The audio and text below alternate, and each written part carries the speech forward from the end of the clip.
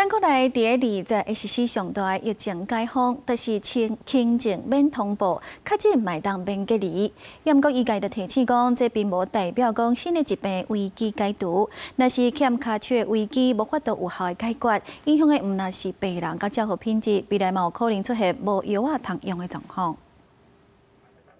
新冠肺炎伫个全球滚价超过三年了后，国内要第二站迎接上大解封，轻症免通报确诊也用免隔离。不过，医界提醒，这不代表新的疾病危机解除。因为统计发现，新冠疫情期间，国内部分医疗院所医术因为人力不够，和抗药性菌的占比快速提悬。月球其实也都提提出来哈，这个只是一个隐形的疫情，如果继续让它继继续延伸下去。那可能就又要回到过去没有抗生素的时代，哦，因为全部都抗药性呢，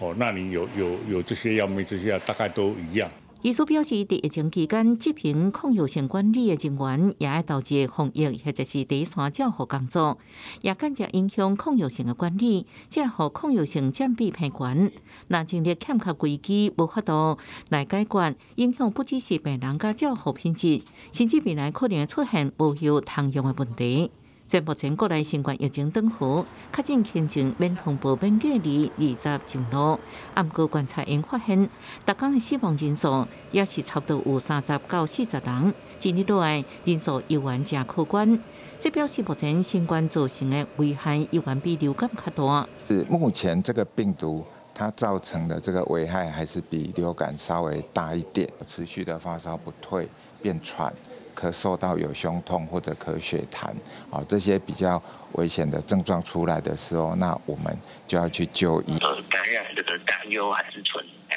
大众交通运输这一块，在观察清明年假的疫情效应之后来做这个决定，但是医疗跟长机构这一块应该会再晚一些。